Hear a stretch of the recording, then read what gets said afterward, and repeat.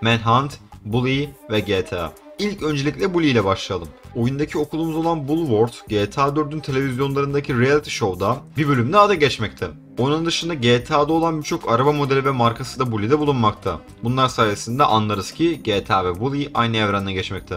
Manhunt ile GTA'nın arasında ise fark edebileceğimiz birçok benzerlik bulunmakta. İlk öncelikle GTA San Andreas'ta Manhunt'ta olan karakterlerin figürlerini görebilirsiniz. Tabi bu aynı evrende geçtiğinden çok gönderme olarak da sayabiliriz. Onun dışında GTA'dan bildiğimiz Sprang adlı içecek markasının Manhunt'ta gözükmesi de bu kanıtlardan bir tanesi. Ama en önemli kanıt da GTA 3'te bulunmakta. GTA 3'ün radyolarını dinlerseniz bir radyoda Carcer City'de bir polis şefinin mahkemede tartışmaları ile ilgili olan bir haberi duyabilirsiniz. Carcer City'de Manhunt'ta geçen bir şehirdir. Anlıyoruz ki Manhunt ile GTA'da aynı evrende geçmekte.